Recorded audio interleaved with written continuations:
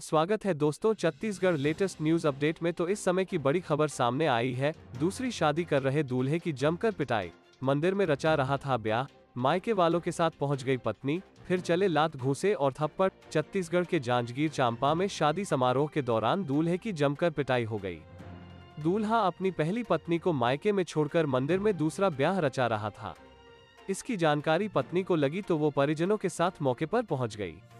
इसके बाद मंदिर में ही लात घूसे और थप्पड़ चलने लगे। हंगामा बढ़ा तो पुलिस भी पहुँच गई।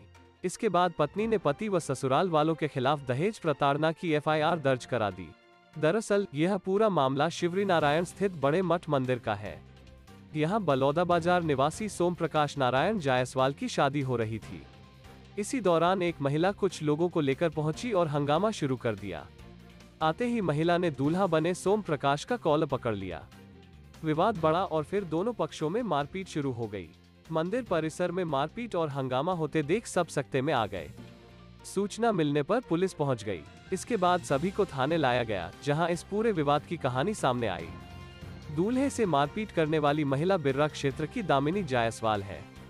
उसकी शादी 7 मई 2017 को सोम प्रकाश से सामाजिक रीति रिवाज के साथ हुई थी। आरोप है कि एक सप्ताह के बाद ही ससुराल वालों ने दो लाख रुपए और बाइक को लेकर दामिनी को परेशान करना शुरू कर दिया।